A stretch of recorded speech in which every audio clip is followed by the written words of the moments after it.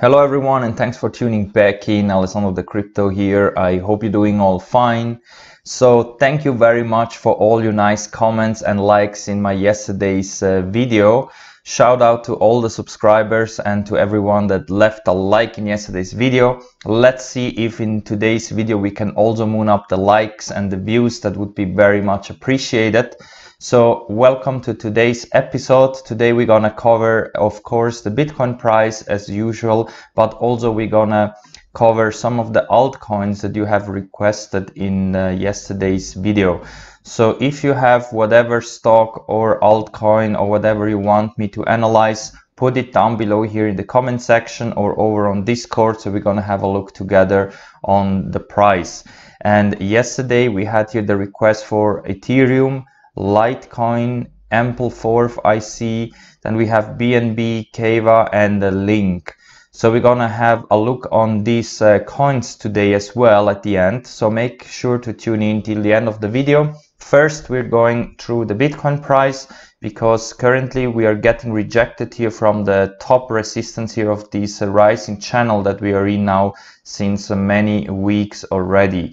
And currently the resistance is up here at around $11,300 so it looks like that Bitcoin might have a little correction here to the downside as also expected because since we got rejected here and we weren't able to break through here and test 12 to $14,000 Bitcoin might take here a deep dive towards the CME gap at $9,600 and that's why we have to now analyze if we are now on the way towards that target or are we just see a little correction and it might immediately bought back up from the bulls.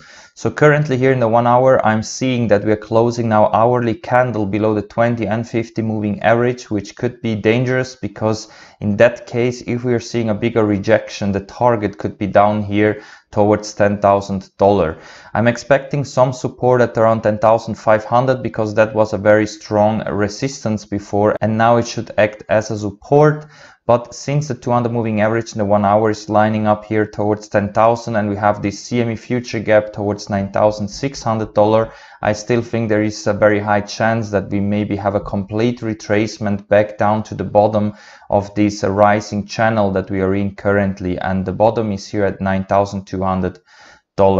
So in the one hour, it looks like that we could see a potential bigger move to the downside. So in case that you have still a long open, make sure to put a stop loss or take profit because it looks like that we could top out here at least for the short term. For the long term, if you're just hodling, it doesn't matter. We will probably have another buy opportunity down here in case that the price is coming down. So you don't have to FOMO in now towards 12, 14,000. You can buy easily towards 9,000 200 to 9600 dollar again. But for the short term it looks like that we might see this uh, possible dive here.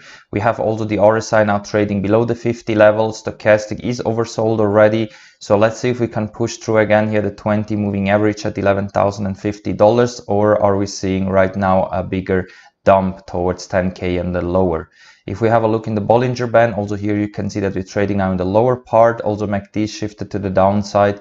Here also it looks like that even if we would have a push to the upside here, the 11,100 could act as a strong resistance now and that we might not able anymore to break through here this resistance, but the old support is now the new resistance. That is very much possible. And if you're looking for a short maybe wait here for the retest and confirmation that 11,200 now is the new resistance. And if we switch over to the four hour time frame here you can see that it doesn't look too bearish but there is still a high chance that we could have a complete retracement back down here also towards the 200 moving average in the four hour which is currently at $9,400 that would also close the CME gap and currently you see that the 20 moving average is holding the price. So from here on we could see a possible retest of the resistance and here is where you have to decide if you want to take profits, close your longs or open up short positions because this retest most likely is going to happen. The 20 moving average is a very strong support and as soon this one is getting broken then I think we will see a, a big waterfall towards 10k and possibly even lower. Also, we have the RSI still in overbought conditions. Stochastic is already down in oversold conditions. So that's why I'm expecting here a possible bounce and a retest of this new resistance. In case that we can break $11,300, then we might have this big breakout and test 12 to 14,000 dollar again with this move. So this drop here towards the 20 moving average in the 4 hour was a fake out and then we're gonna see here the big move to the upside. But as it is currently in the 1 hour and 4 hour I'm more leaning into uh, the bearish side so that most likely we're gonna have here a bigger correction. Not only because we have this big CME gap at 9600 but we were very overbought in the lower time frames and also we're coming to the end of the month so we have to close the monthly candle above 10,500 in order to have the confirmation that the big bull run is in front of us in the next couple of days and weeks. If we're gonna close the monthly below 10,500 or even worse below 10,000 then this could end up in a big wick to the upside this month and this could be very dangerous also for the longer time frames but currently everything is still okay and we should hope that we can close the monthly at least above 10 k even better above 10,500 so if we're gonna have this major correction here to the downside it should happen very fast or maybe at the beginning of next month. Important is that this month we're gonna close above 10 or 10,500 dollar and now let's have a look also in the Bollinger Band in the 4 hour because here currently we're getting saved from the middle line here at $10,900. As I told you, this line here where also the 20 moving average in the 4 hours lining up is very important and from here we should see a bounce and a possible retest of the resistance here in case that we're gonna lose here this $10,900 then maybe think about to open up a short position over on Bybit or Bityard because in that case we could easily drop again towards $10,000. Also MACD is now shifted to the downside so it looks like that we could have here a possible crash here to retest the supports, close the CME gap and then hopefully bounce immediately back up again above 10,000 or 10,500 dollar. And now let's also open up the daily time frame because also here you can see that currently we're still very overbought in the RSI and also stochastic. The 20 daily is currently at $10,000 so also here I think there is a very high chance that we could have a retest here of the 20 daily moving average. But you see that even if we would drop down there to this target so again below $10,000 we would still remain very bullish. We are still above the 20 50 and 200 daily moving average so everything is still okay and we are also respecting this upwards moving channel and the bottom currently is towards $9,300 so for the worst case is that we could drop here towards this area here retest it and then have another bounce back up only if we would lose here the support at around 9200 or even worse uh, the 200 daily moving average at 8700 that would change my sentiment immediately because in that case uh, we would most likely also see those price levels down here again especially here towards 7200 to 6400 dollar but so far everything is still okay and there are no worries that we would see those prices ever again. But you know how it is everything is possible especially here in the crypto space. And now let's have also a look here in the daily time frame in the bollinger band because as you can see we are still overshooting the bollinger band to the upside and the retracement back down here towards the middle at $9,700 is still in the cards. And looking at the Bollinger Band, it really looks like that we could see this possible retracement back down pretty soon. Only if we're really able to overshoot it again to the upside and also break this $11,300 resistance, then I think uh, we could be moving towards 14k and higher because also the MACD still shifted to the upside here in the daily. So this is still looking bullish but as I told you this can also change very very quickly in the daily especially if you're dropping that low again below 10,000 dollar. And now let's have a look also here in the weekly time frame because Bitcoin had a fantastic week here. We had a big move here towards the resistance up here at $11,300. We are also getting very close to overbought condition in the RSI. Stochastic is still in overbought condition here and you can see that the 20 weekly is at $9,100 which is also coinciding with the support here of this channel. So that's why I'm telling you it is still possible that we're going to see those price levels again before a decisive breakout here to the upside. But since we already broke out here to the upside from this big red resistance that we had here, which acted as a resistance now for a couple of years, we have now the confirmation that we will have a big breakout and a big bull run in the coming future. But the question now is only, do we see a little correction or retest of this area down here before we definitely starting this big bull run. Because as soon as we're also gonna break here this resistance up here I think we're good to go for the big race to new all-time highs. And also tomorrow we're gonna close the weekly and the monthly candle. So it will be very important that here the weekly is gonna close above 10k and here you see clearly why it is so important because so far here the $10,000 acted as a resistance and if we can close this weekly candle above this would give us confirmation that we have a valid breakout here and we should expect a continuation but if this weekly candle is gonna close below 10k again we're just gonna have this huge big wick here to the upside and then start to trade again in this lower area which would be more bearish for the next couple of days and maybe also weeks so watch out for tomorrow's close. This is going to be very, very key because this weekly and also the monthly candle must close at least above $10,000. And if we go over to the Bollinger Band, you can see that currently we're also touching at the top of the Bollinger Band at $11,300. So also here, it is very likely that we could have a possible retest of the middle line would be down here at around $8,700 where the 200 daily moving average is lining up. I don't think that we have to go necessarily that low, but at least again towards 10K, I think it is very likely that we will see those prices again in the very close future.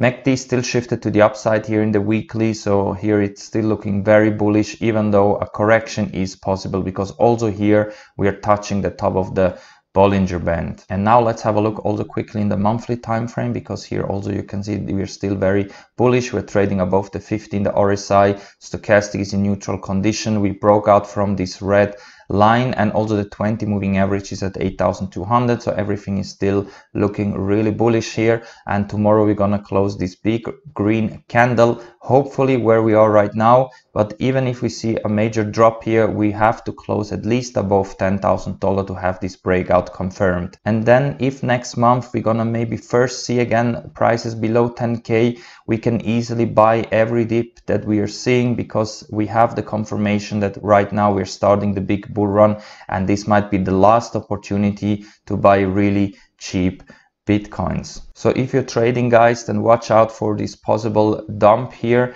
If you want to go short you know where you can go. You can go to bybit you can go to Bityard or even phemex phemex is also nice because there you can even trade gold if you need an account on all of these three exchanges, you find the link down below here in the video description. With my links, you can get some sign up boni and also you support the channel. Of course, you have to put some deposits and do some stuff to get the full boni, but it's really worth it. And uh, with small amounts, also here you can get a lot of gains. So definitely trade over on these three exchanges. This is the ones that I recommend you. In uh, Bityard, you can also trade with Tether. So if you just want to use Tether, then Bityard is the exchange for you. The other ones are good if you trade directly with cryptos. For example, here on Bybit, that's my favorite exchange. Here I usually trade Bitcoin, Ethereum. Here you can trade from 1x even up to 100x uh, leverage. So here is the place for you if you want to try out trading with leverage or if you're an experienced trader then this is the exchange for you Bybit and Phemex. And now before we're gonna start to analyze these uh, different uh, altcoins first I want to show you this chart over here where you can see the Bitcoin dominance because currently you can see that we are in this falling channel so that means that a lot of money could flow into some altcoins and that's why now some people are speculating that you can multiply your bitcoins if you are investing in the right altcoins right now.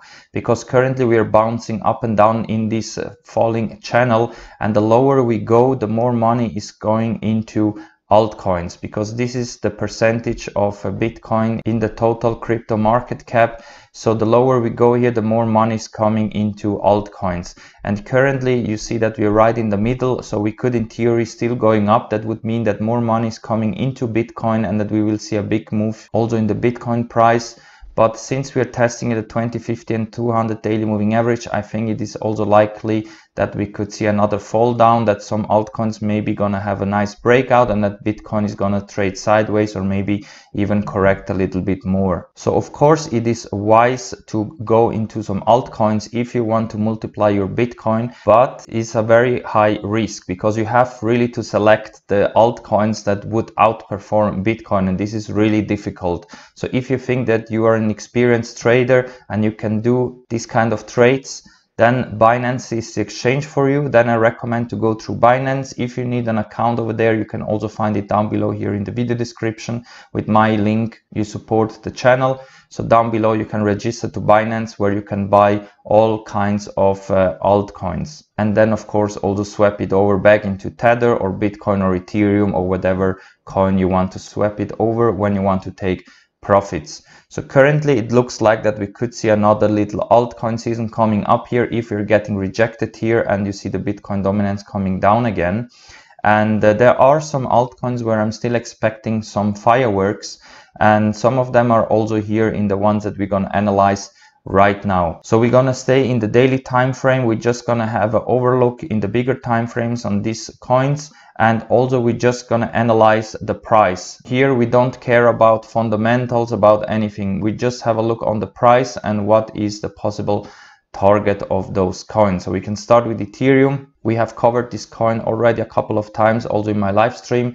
So here you can see that we had this nice breakout here from this falling channel that we were in. Currently we are again overbought in the RSI and also stochastic and we could be in here for a possible correction since also Bitcoin is having a little dump here. But that doesn't mean that we have immediately to correct down here into this channel again because so far we never tested the new support here at around 250 dollar so i think there is a high chance that we could see those prices again to retest 250 and then have a bounce from it. So here i would put some buy orders or if you don't want to wait the price to go that low maybe already put it here at around 280 dollars where the 20 daily moving average is lining up. Because if we zoom out here even into the weekly time frame you can see that Ethereum is still looking very bullish. We have here a W formation and also compared to the all-time high, we completely bottomed out here. So we are really at the floor and here the targets to the upside are quite huge because here you can do really a lot of gains already entering now. So you don't even have to wait here for a retracement back down to the sub 300 dollar level. You can of course if you want the perfect entry but also here it looks like that ethereum is gonna have a huge bull run once we're gonna break here this 350 dollar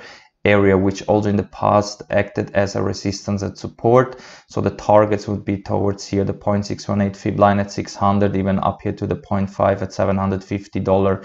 And i think as soon as bitcoin is gonna have a new all-time high also ethereum most likely is gonna take out the high that we had here at 1400 dollar. So Ethereum for sure is a good bet, even though right now we are already getting into overbought condition in the weekly and daily time frame. So also here I'm expecting a possible correction down to these levels. So let's go over to Litecoin because Litecoin also had this breakout from this uh, resistance of 48 dollars. Currently we are pushing through here and testing the 60 dollars we are also here overbought, so I'm also here expecting a possible retest of $50. So if you want to buy Litecoin, maybe wait for a retracement down to $50 and the targets to the upside also here are quite huge. We could easily go and test here these 80 dollars. Once we break out from 60 to 65 dollar next target would be up here 150 dollars and so on. So if we're gonna have also on ethereum and bitcoin new all-time highs also here on litecoin i think we will break here this all-time high that we had at almost 400 dollar here we are not yet completely overbought in the weekly only in the daily we are overbought. So that's why if you want the perfect entry wait maybe for this 50 dollars retest but also here at around 54 dollar for the long term you should be doing fine because also litecoin most likely gonna have an explosive move here in the next parabolic phase. And now let's have a look here on Ampleforth this coin here so far was always flat here always trading at around one dollar. And recently we had here this huge pump towards four dollars. So also in this coin here i'm expecting some big fireworks in the future Currently, we completely retrace back down. I think if you plan to buy Ampleforth, then this is the perfect entry for you because we are trading even below $1 and we're getting into oversold condition in stochastic and RSI. So if you think this coin is a project that you like and you want to support, then I think this is the perfect entry price. Even if we're not gonna create here a new all-time high or test this $4 again, after this big drop that we have seen since this big move here, at least we're gonna see here a breather to the upside and retest maybe here the 20 daily moving average at $2.10.